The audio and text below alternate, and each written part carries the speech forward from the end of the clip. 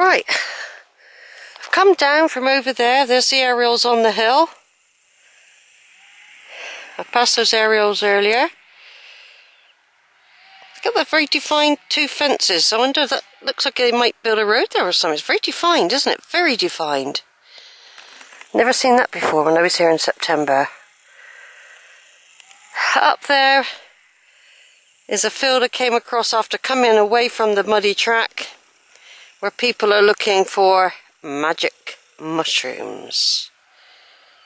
There's somebody there. He's been looking for ages for magic mushrooms. And there's another one. And there's more of them, and they're looking for magic mushrooms. Anyway, here I am at Longwood.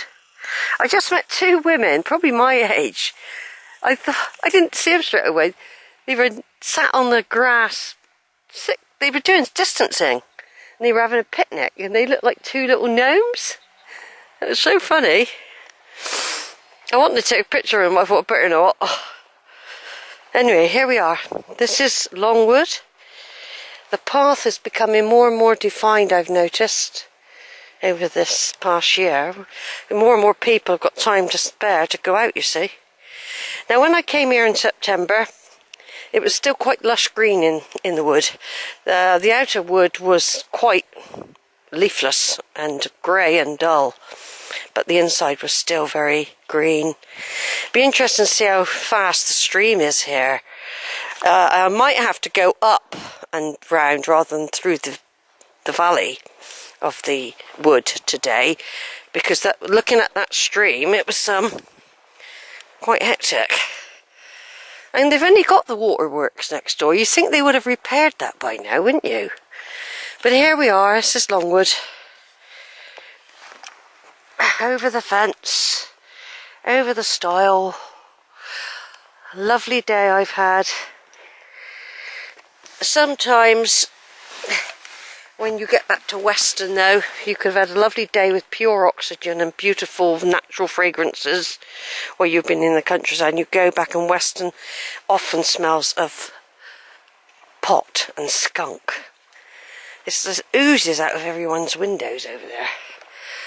And, and, and it's such a shame, really, because you've come out in here and had all this natural stuff. Oh, trees falling down there. Mind you, we've had some really, like, hurricane-type winds. I thought they like, looked like a big gap there.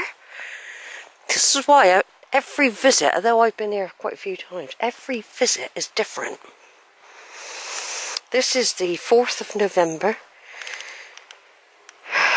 2020.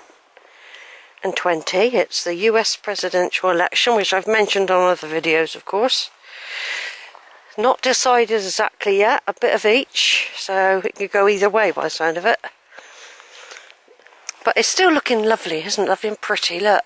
Bit of orange, bit of green, bit of yellow, lovely mossy walls,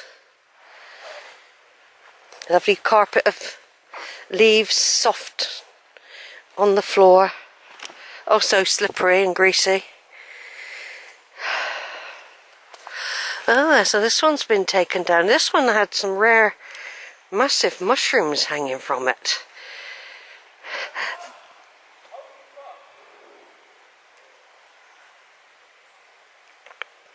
I can hear people.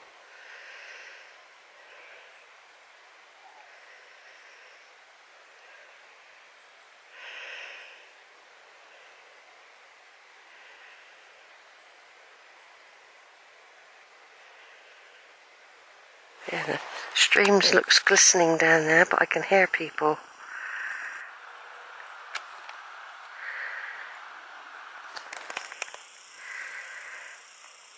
They just say they were going to do some felling though. Just hope that's not a... Those people are friendly. I mean, you don't know when you're out, do you? They could be workmen.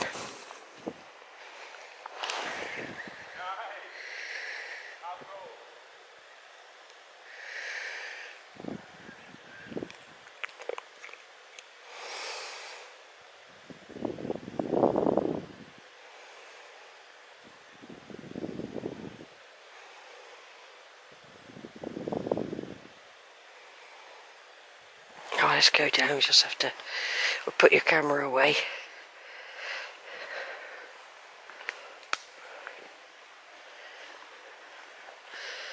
Yeah, big tree. And there's another one gone missing there. They did say they were doing some felling. Right, over and out for a minute. Look at that beautiful scene there.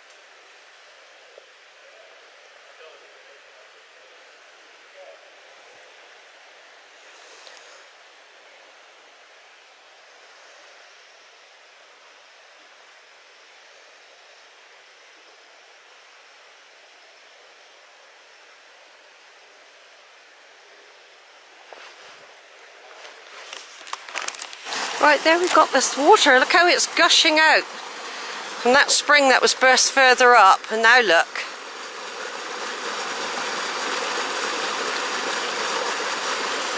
Yeah. Yeah, they've been doing some felling here. They said they were going to do some felling. Oh, it's some lovely colours. Lovely autumn. Thing is, I just passed a group of four student type people. And then I forgot about COVID, but I sort of kept a bit away from them, but they were young, you know, so I mean, say 18 to 24, something like that age group. I mean, I should have been, I should be alright. Should be alright, hopefully. But of course, there's the risk on the bus. No, nowhere safe. Nowhere safe. So I'm just videoing. This is a contrast to a month ago where all this was dry. You never had any of this. Yeah, look at it. It's beautiful, isn't it?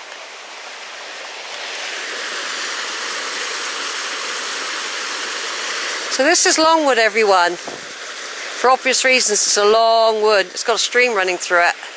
You get deer here. Potholes, caves.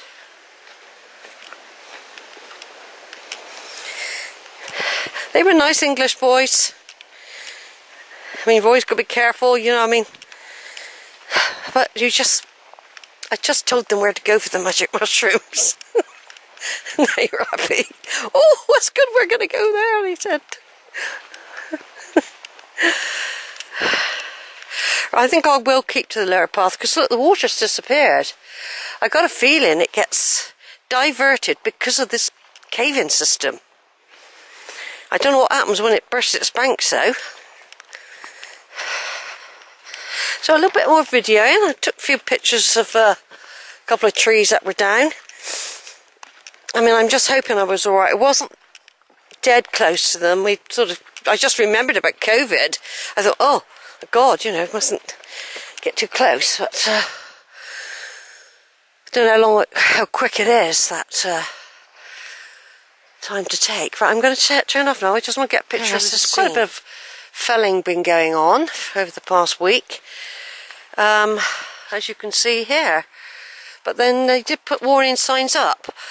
I wouldn't have been, probably been allowed to come through here. Um, I'd have to have gone. They might be at the top. So fortunately, they've done down here. So I probably wouldn't have come, been able to come down here.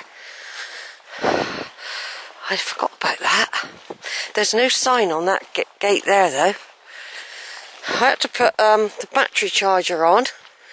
That's two batteries gone flat. I forgot to charge the other battery up though. They've done quite a bit, haven't they? But then that's preserving. It's a different thing.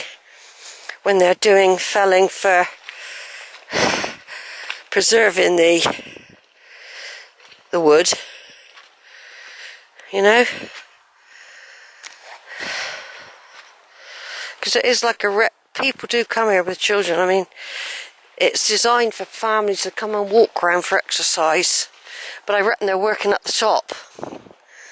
If I'd done the top route I might have bumped into them up there see?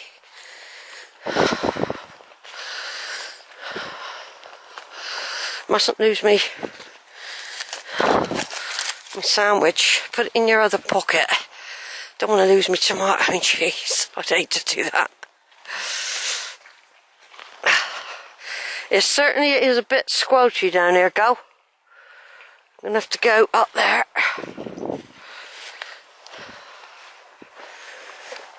Thought I heard a little bird then. They have to do it this time of year as well when the birds aren't nesting, you see. There's reasons for everything.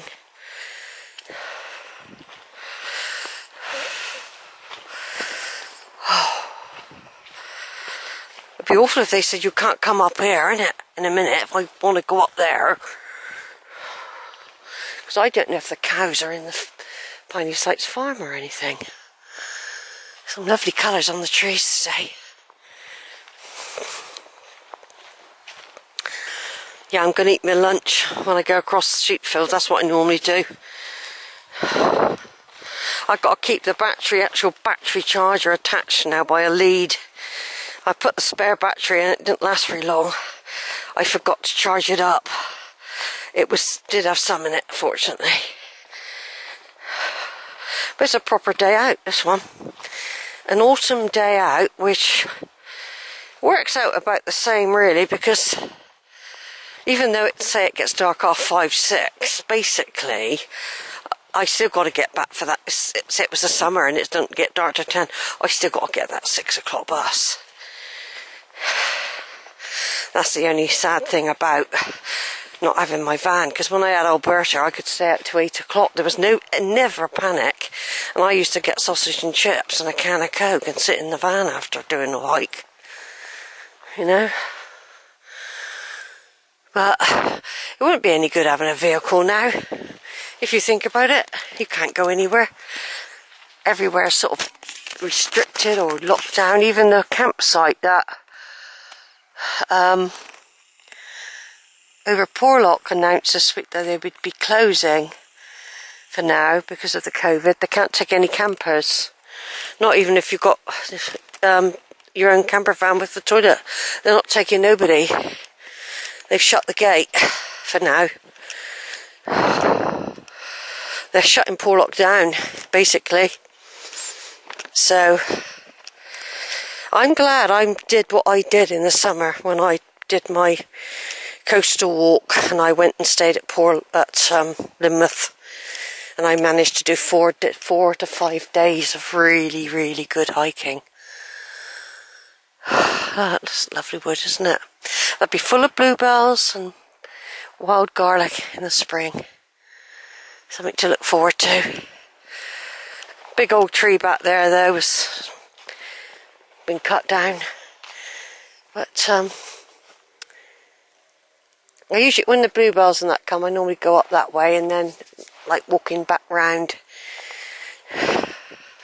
I wonder if they're gonna do anything to this big tree here. It's been there a long time that one. Sometimes they don't seem to care if they pull them down. They might say it's not safe.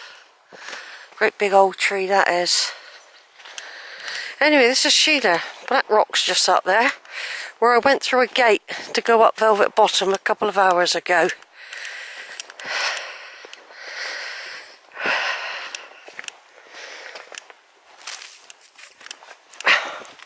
And I'm going to go up Sheepfield because I reckon the steps going upwards to, on the other side of Cheddar Gorge, the north side, will be very muddy and slippery.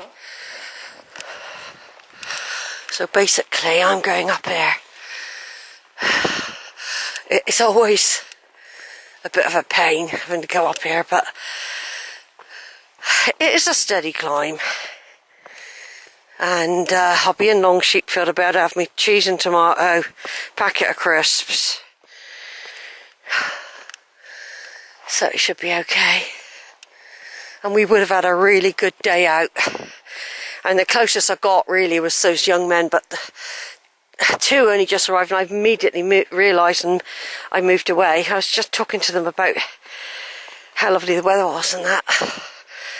And uh, then I just sort of mentioned the magic mushrooms and that was, oh, we'll go over there. And just reminded me, always reminds me of Georgia. She was a student. Um, and she was a young girl like that. Oh, my beautiful kids. Oh, my lovely children. Oh, I love them. And my grandkids. Right, over and out. Over and out. This is the the long crooked lane pebbly sort of lane, rocky lane that I come up after I've been through the wood, which I've just been through. Um, and I done it sort of a month ago, and so uh, autumn colours are here now for sure. Not going straight from green to no leaves like happened in August. The inside of the wood was protected, um, but it's now proper autumn. I don't often video all this walk up here because I it does I do get a bit out of breath. And um, I'll be a gate in a minute and I'll go in to what I call Long Sheepfield because it matches with Longwood and I call it long because it is a long field. There's some lovely, lovely sunshine coming.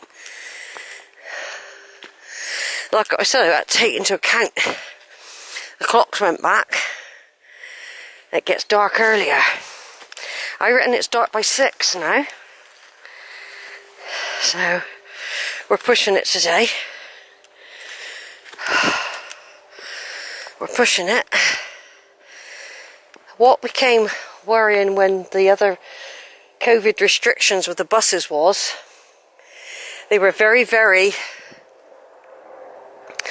spontaneous There was no real timetable exactly. Um, they might not turn up. They might not pick you up. Um, so the bus drivers won't tell you anything. They think it's all going to just carry on. But I wanted to get this walk in the day before the restrictions come in. Because it, because it could be very unpredictable with buses like it was before. Um, in fact, I never went on a bus for three months. I didn't go on them a lot when I had my van. Um, but to get out to these areas of beauty, it's the only way I can get out there.